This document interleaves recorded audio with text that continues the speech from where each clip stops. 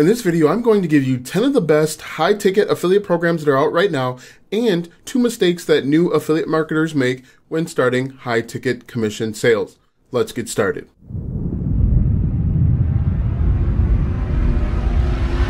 Hello YouTube, it's Alston and welcome to my channel where I help you find success online. Be sure to like, subscribe, and ring the bell to learn different tips and tricks to how to find success and start making money online. Alright, so one of the biggest questions, comments, concerns when it comes to affiliate marketing and making money online is high ticket versus low ticket. So I'm just going to spend a couple minutes talking about high ticket versus low ticket, what's the difference, what's the right route for you, and give you 10 of the best high ticket affiliate programs that are out right now. Do you want to learn how to start and grow a successful online business? If the answer is yes, click the first link in the description to learn my number one recommended course for starting a successful online business today. Just for signing up at the link below, you will receive the bonuses you see on your screen. All right, so first and foremost, what is high ticket affiliate marketing? I believe high ticket affiliate marketing is when a commission is paid out of $150 or more for recommending a product or service. So this number can be a little bit different depending on who you talk to, but in general, $150 or more is really a good barometer to go with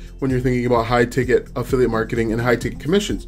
So what's the difference between high ticket and low ticket? Again, $150 or more versus $150 or less or, or $149 and less. In, in, my opinion, a product that is $200 or less, which usually falls in the low ticket range, is more of an impulse buy. They can just go out, they see a couple, watch a couple videos, uh, they may look at a review or two online, and then they go and decide it to purchase it. They don't have to consult with their significant other. They don't have to ask friends and family usually.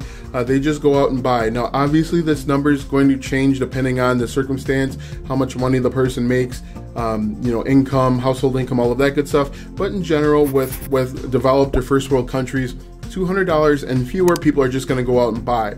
If it's over $200, usually, and again, this is going to vary depending on the person, they need to consult with their significant other. They need to uh, do a lot more reviews. Uh, they need to do comparisons, this versus that, uh, what's best. Uh, and they're looking actually for reasons to not purchase the product.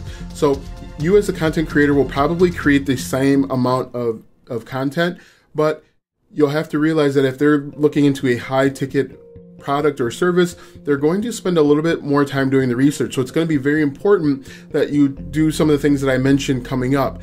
Uh, so that's really the big difference between high and low. Low ticket impulse buy, people are going to purchase the product only looking at one or two videos.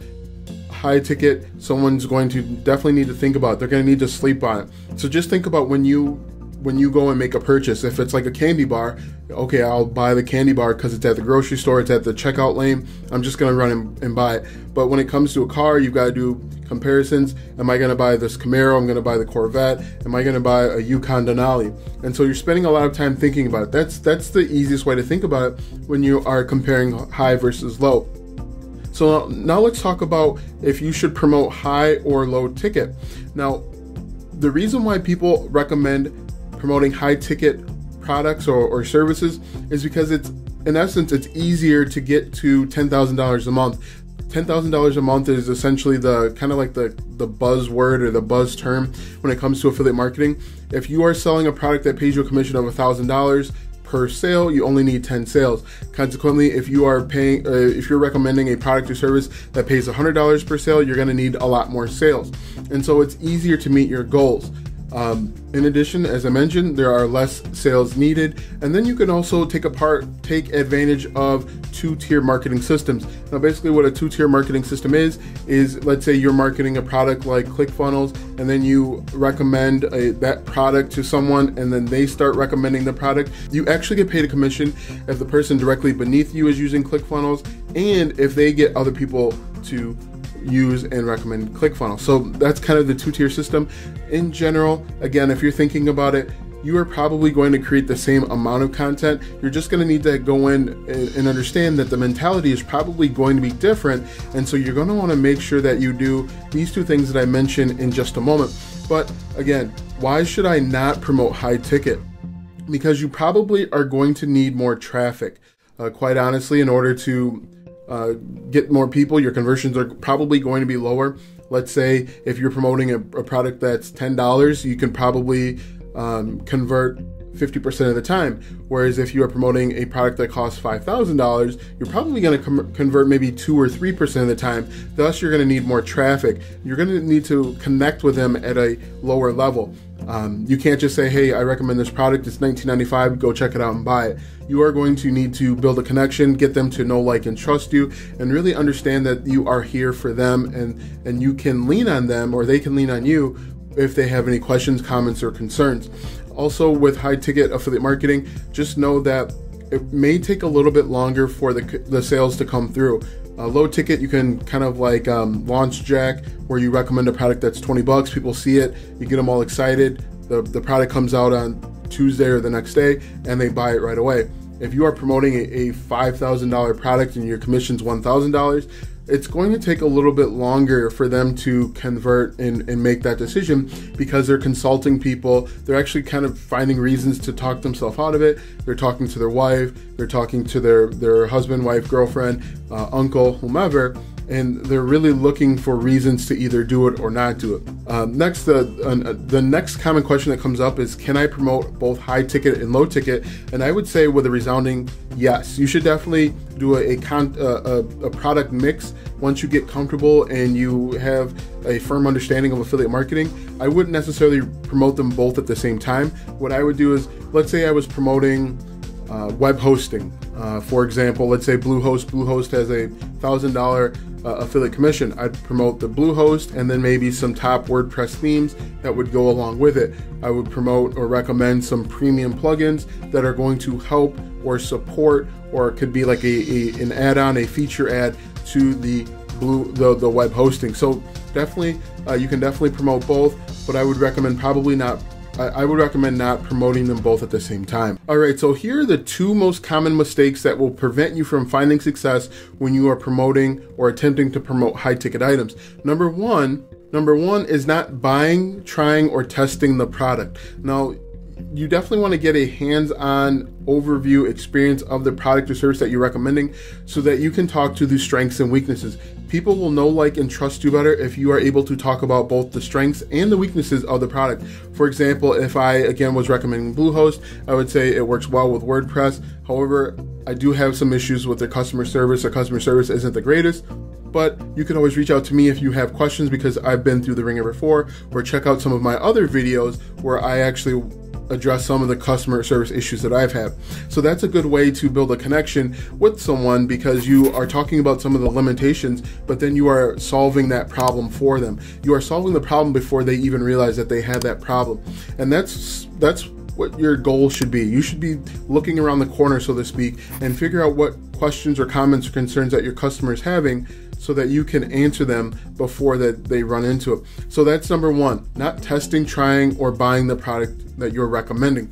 Number two is not having email marketing. Because you are recommending or promoting a product that is very expensive, relatively expensive, we'll say, uh, because you're recommending a product that's relatively expensive, people aren't going to just click the link and buy you are going to want to get them to your email on your email list and then follow up with them daily or every few days and just continue to provide value.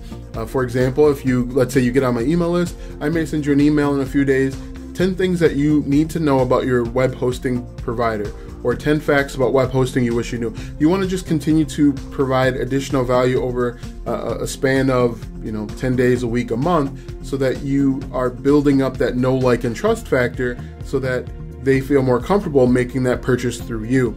And that's going to be key to email marketing will be to continue to build value and make it an irresistible offer like their life will not be complete until they have this product or service that you're recommending. Those are the two issues um, when people fail to make money with high ticket affiliate offer or high ticket commissions. Again, it is not trying, buying, or testing the product. And number two is not having email marketing. All right, so let's quickly talk about the 10 affiliate marketing programs in my mind that have the best high ticket commission structure. Number one is ClickFunnels. If you've watched any of my other videos, I talk about ClickFunnels a lot. The reason why I like ClickFunnels is it actually provides reoccurring commission. Now, most people think ClickFunnels is just for email marketing, maybe a landing page and autoresponder. It does so much more than that. You can create membership sites. You can actually create an entire website. You can sell a digital product or service. You can actually sell a physical product or service as well. You can do so much with you can host webinars. You can do so much with ClickFunnels that it, it's almost a no-brainer if you're looking to really grow and scale your business.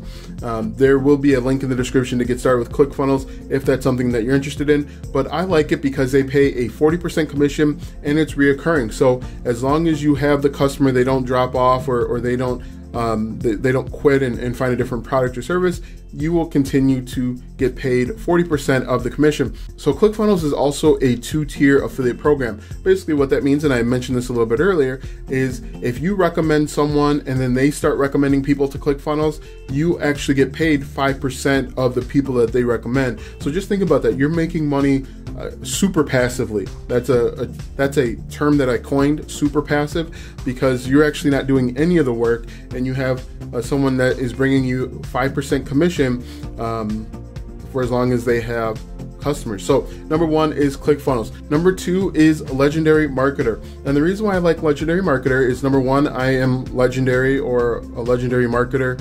I'm not sure what you would call our group.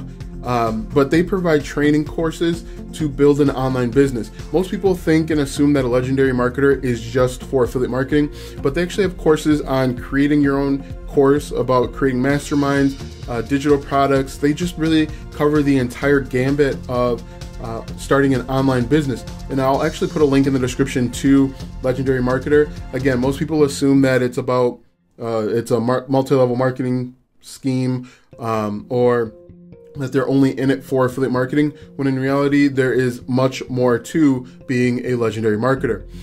Number three is Shopify. Now, Shopify is the number one, the leading, the gold standard when it comes to drop shipping. Um, if you're not familiar with drop shipping, drop shipping basically is uh, a regular person like you or me creates a site and they find customers in different niches and a customer will come and buy the product from you you as the site owner will source the product from somewhere else and you, the, the product will get sent directly to the customer and you basically charge your markup and you make money that way. Now that's basically an overgeneralization of what Shopify, Shopify is, but that is a good starting point. Now the reason why I like it as a high ticket affiliate program is it gives people an opportunity to start making money online. And number two, you actually can make up to $2,000 per person for referring them to one of their premium program. So that's actually a very good amount of money for recommending people and showing them how they can start an online business. So that was Shopify. Number three is Kinsta.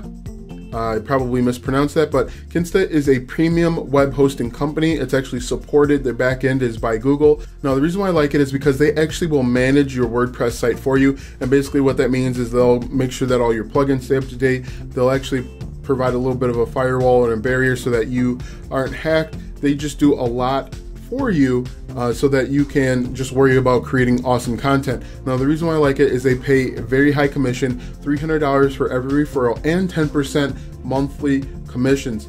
And this is great for small business, small to medium sized businesses that are uh, have a huge presence online. So that is the next one. The next one is SEMrush. That's S E M R U S H. Basically, Sim, SEMrush provides SEO information. You can spy on your competitors' websites, domain information, traffic, all of that good stuff. Now, the reason why I like it is because, again, if you have a web presence and you have competitors, which everyone does, you can actually spy and see what their keywords are, what they rank for, and you can go out and take that competition. They pay a high commission, and you can actually use their service to grow your business.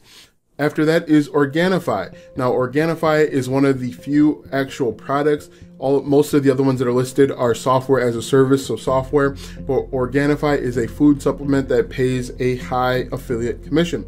After that is ClickBank. Now, the reason why I listed ClickBank as a whole and not actually the individual products because there are a number of products that pay you a commission of $300, $400, $500, whereas there are a number of products that pay you like $10, $15 as well. But you have to kind of sift through. And the reason why I like ClickBank is it's one of the oldest affiliate networks out there. There are just an array of products and services that you can recommend. And you can recommend a multitude of products and services and kind of piece together your your affiliate income. So uh, that was a ClickFunnels. After ClickFunnels is Amazon Associates. Now I'm sure you're surprised to see Amazon Associates because they actually pay a very low commission, between 4 and 10% depending on the product or service that they're recommending. But the reason why I put Amazon Associates on this list is because if you find products that are over a $1,000, you can still make pretty good money. For example, I used the tiny houses example before. Those tiny houses, I believe, go for like 8 grand, 10 grand, 15 grand, and you can make $1,500 per sale.